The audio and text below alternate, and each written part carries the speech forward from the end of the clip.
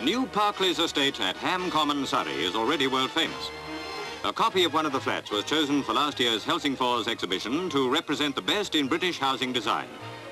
It's maintained by a committee of residents who are mostly young professional couples. To mark the completion of the estate, the well-known architect Sir Hugh Casson comes to unveil a statue which has been the centre of a good deal of controversy.